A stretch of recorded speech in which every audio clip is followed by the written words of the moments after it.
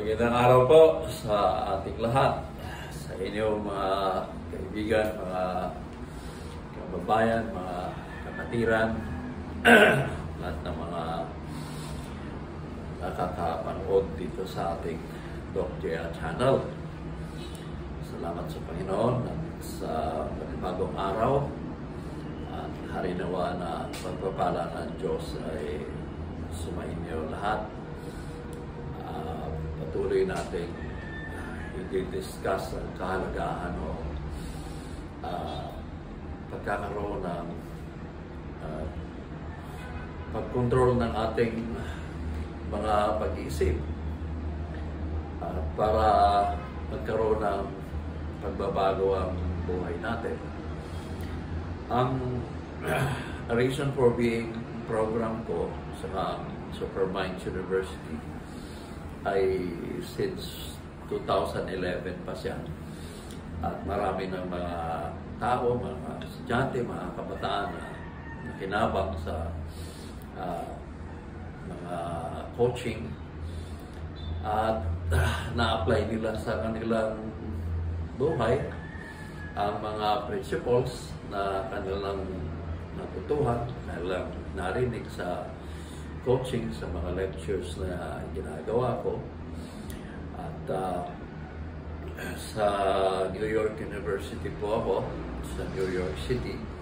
At matagal na rin ako sa Amerika, mga 40 years na rin. Oo. So anyways, um, dalawang mental technology na tinuturo natin sa Reason for Being program ay yung tinatawag na QRD at saka AOS.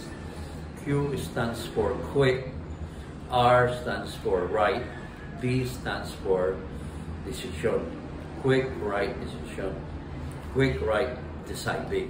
Uh, yun. Tapos yung AOS, yung Art of Segregation. Mga mental techniques na ina-apply ko at dapat ma-apply ng bawat isa sa mga bagay-bagay na minsan nangyayari sa buhay natin, mga sirkumstansya at mga events, kumbaga, nangyayari na ating na-experience, na-experience sa buhay-buhay natin. At kapag meron kang tinatawag na scheming at saka evading na understanding, ay makikita mo ang takbo ng mga pangyayari sa buhay-buhay at may apply mo ang tamang approaches. Ano bang Tagalog sa approaches? Yung tamang uh, pag uh, paggawa, oo, pag uh, react, uh, mga approaches mo sa buhay na kailangan eh maayos, kumbaga. Kaya tinuturo natin sa ating Reason for Being program na mataas ang pananaw, mababa lang ang kalooban, maganda ang isip. Hindi yung mababa ang pananaw, mataas ang kalooban, eh, sira isip, diferensya sa isip. So, dapat talagang meron tayong proper uh, na understanding. Kaya tinuturo natin yung tatlong bagay na goodness, righteousness, at saka properness. Yun yung sinasabi natin, good, right, proper. So, dapat proper. Dapat proper. May mga taong good, at uh, may mga taong right, pero hindi sila proper. Diba? May mga teacher na they're good, they're right, kaya lang wala silang properness. Kasi namimingot ng tenga ng estudyante, naniligaw, gano'n. May mga pastors na good, saka right, pero hindi proper dahil naninira sila sa kanilang pulpito sa pangangaral, not proper. Pero pinaka-key behavior talaga ay magiging proper. So, kailangan bantayan natin ang ano eh, mga mga nangyayari at yung ating reaction, yung ating mga approaches, yung kung ano ang timplada na gagawin sa salita, gawa, sa pag-isip. Kaya yung tinuturo kong three cyclical interchangeables, thought, word, action. Isip, salita, gawa. Yung tatlong nag-interchange. So, importante na maunawaan natin ang mga principles na to at uh, kung ano ang uh, dapat na actuation, kumbaga dapat timpalada. Kaya dapat meron kang QRD, quick, right, deciding. Quick, right decision. At saka art of segregation. Para kung ano man ang mga pumapasok sa isip mo, ay meron kang art of segregation. So, life is art. Okay? Wealth is math. Sabi nga ng uh, aking mentor na si Jim Rohn, wealth is math, but life is art. So parang math, eksakto yung mga computations, di ba? 2 times 2 equals 4, 4 times 4 equals 16, 4 plus 4 equals 8. Math siya tawagin. Pero life, hindi siya math eh, kundi life is an art.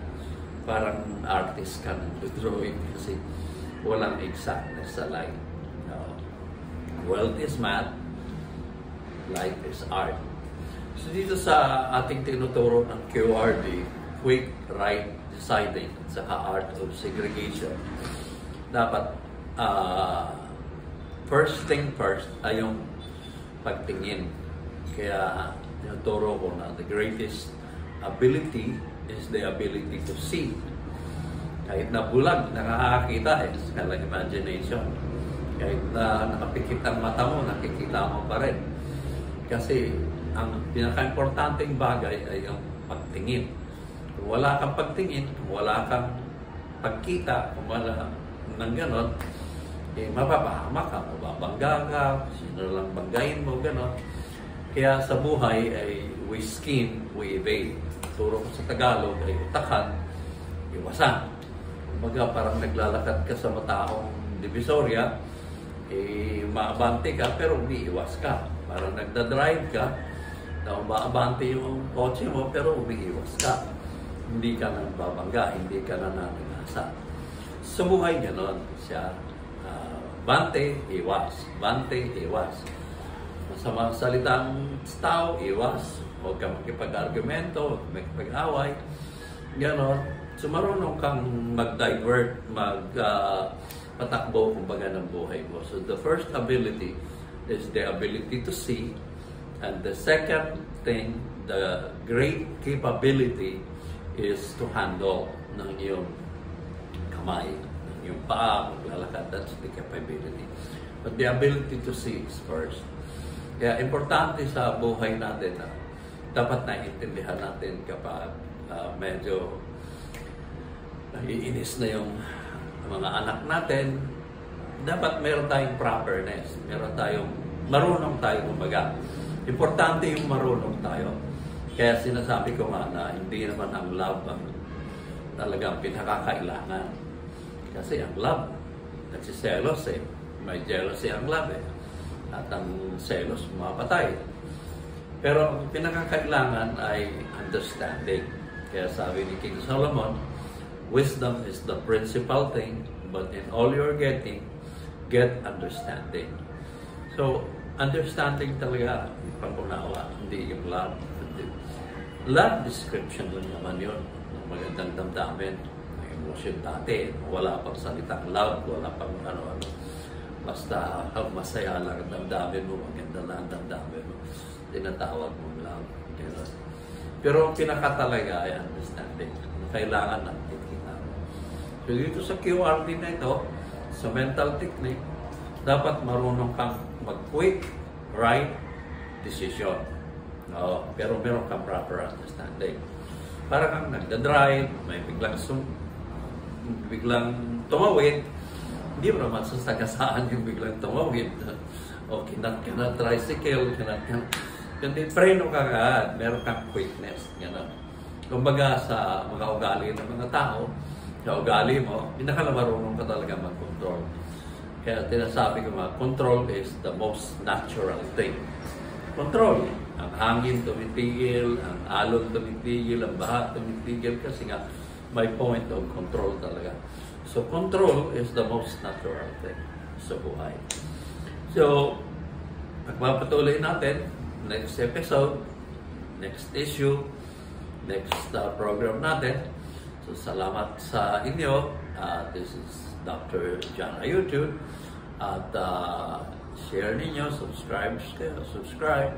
Saka marami po kayo matutuhan dito sa lecture programs. I have 64 books na iba hindi pa napapublish pero I have 8 published books. Yung ganun. Thank you po.